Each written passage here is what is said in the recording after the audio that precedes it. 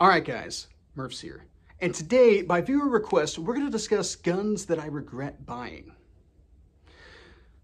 So, I have a pretty expansive collection. I've been buying guns for years, and I definitely have a, a list of guns that I kind of wish I had bought, or perhaps my opinions have changed on over time. So with that, I've got a collection of guns laid out here today, but not all the guns that we're going to talk about are present.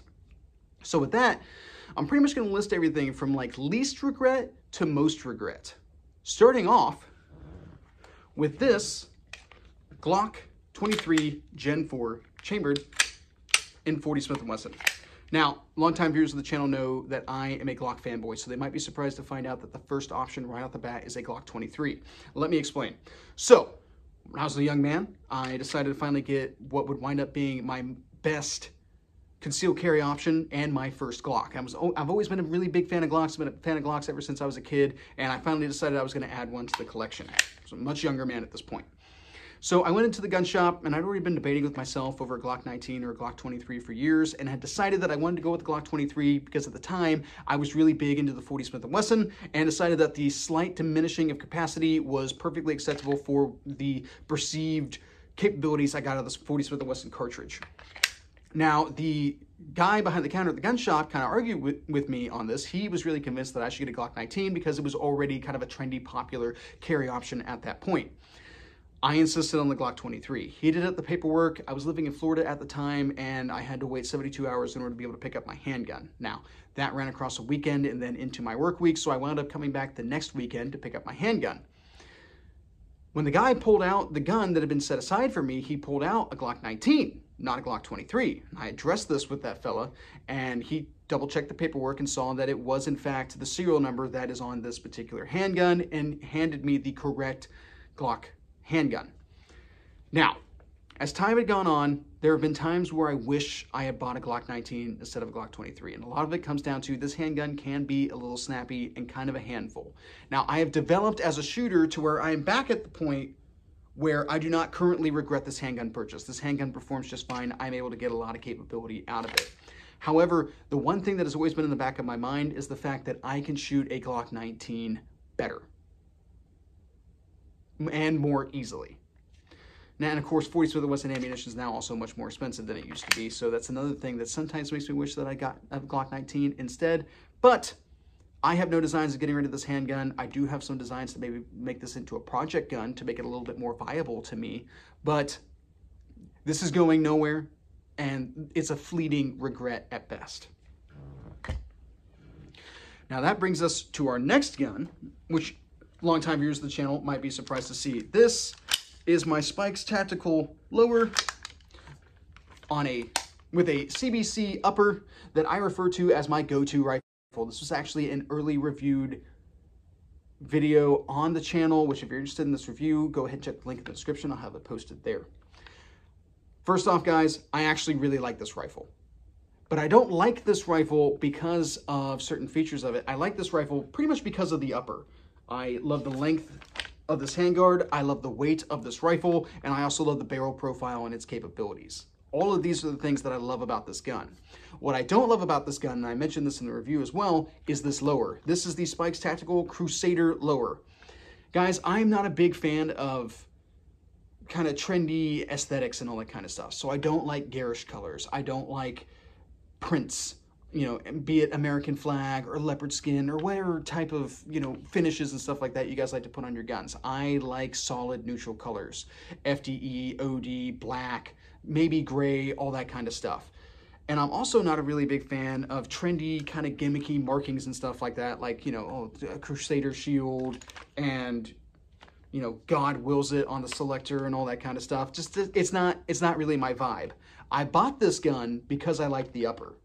I regret this gun because of the lower. And I have considered selling off the lower and just keeping the upper. And it's something that goes back and forth through my mind every once in a while, especially when, you know, the gun fund's a little low and I know I'm going to need to generate some cash. So, that is why this gun is on the list. Now, another regret might be a little bit surprising to people because this gun has also been previously reviewed on the channel. And this is my Ruger Mini 14 Tactical Chambered in 5.56.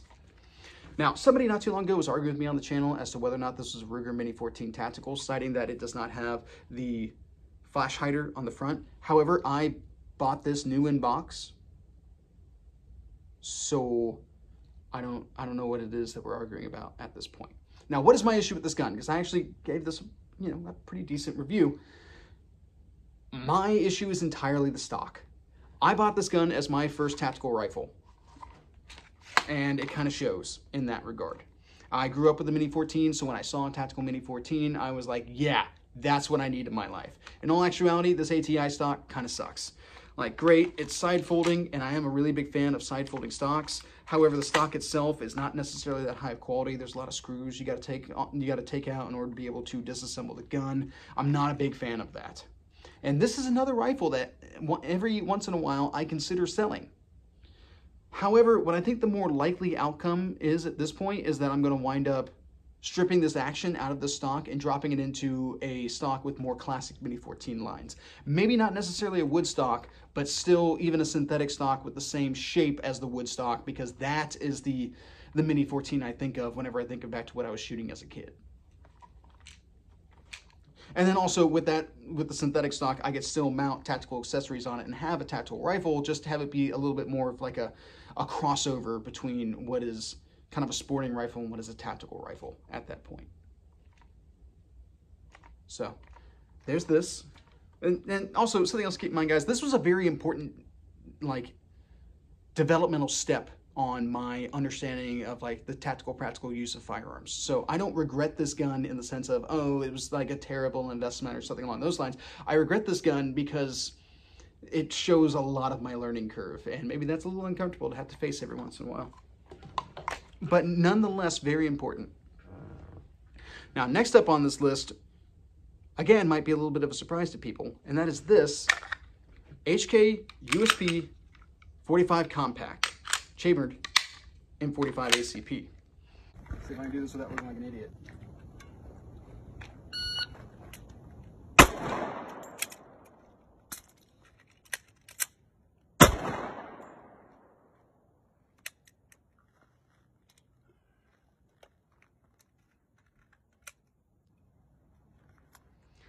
I have not yet done a full review on this pistol, but I did do a competition review where I took this gun straight out of the box and straight into a competition with no prior training with it, which I'll throw the link to this in the description to that video.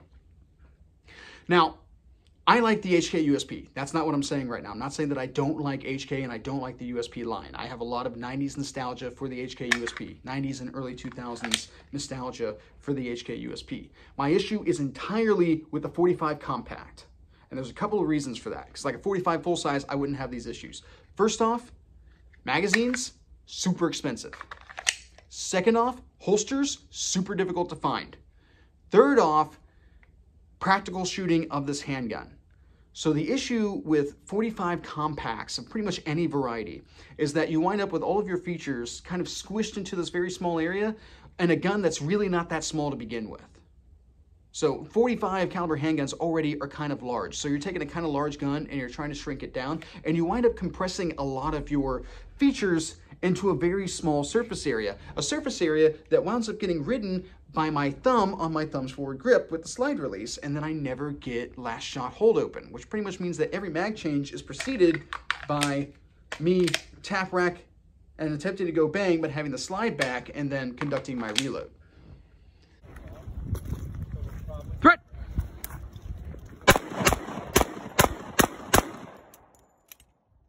That's you know obligatory how it should look is what if I have a malfunction what if there's something going on with the gun that isn't just an empty chamber I still have to perform that check so I did take this handgun into that competition and I've also since then uh, co-instructed a course a handgun course with this particular handgun and that was kind of the last straw for me. Now, I'm not going to sell this gun prior to tinkering with it a little bit more. I'm going to put some more rounds through it. I'm going to try to work around it a little bit.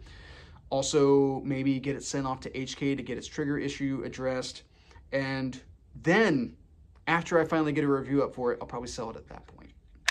So, it's probably a while away. There's probably still a lot more work that I'm going to do with this gun before I let it go. Now we're into the portion of the video of guns that I have sold.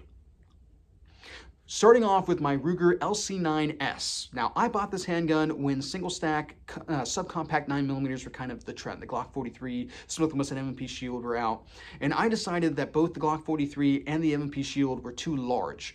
Not when there was an LC9S. Now, the LC9S was the striker-fired version of the Ruger LC9. All the same features, just had a striker-fired trigger instead of an internal hammer. And at first, I loved the gun. It was very slim, it was very small, you had like seven rounds of nine millimeter on board, all that kind of stuff. Everything was great. Had good sights, much better than the later EC9S, which would be a cheaper version of the LC9S, which is kind of hard to comprehend because the LC9S was already pretty cheap. And those sights would be molded into the slide itself, and they would be like nubs for sights. They're absolutely horrific. Whereas the LC9S had actually, actually really good contrasting sights on it. So why did you get rid of it? Well, because it was so slim, it moved around in my grip a lot, and this caused two issues. One, it threw off my shot groups because under recoil it kind of wiggled around, and as I manipulated the trigger and all that kind of stuff, there's a lot of additional play in my hand to allow the gun to kind of wiggle. And then also, it made the gun feel more snappy in the hand. Now, what ultimately did it in was that I had those issues, and then also it started malfunctioning a lot. So at that point, I was like, I'm, I'm, I'm kind of over this, and I got rid of it. I wound up trading it for a Smith & Wesson Model 5906, which I then traded for my Smith & Wesson Model 642.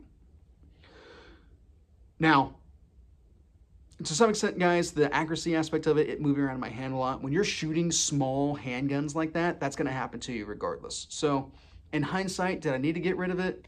Well, still yes, because it was not being reliable, and I have a very low threshold of unreliable of you know accepting a lack of reliability in defensive type options.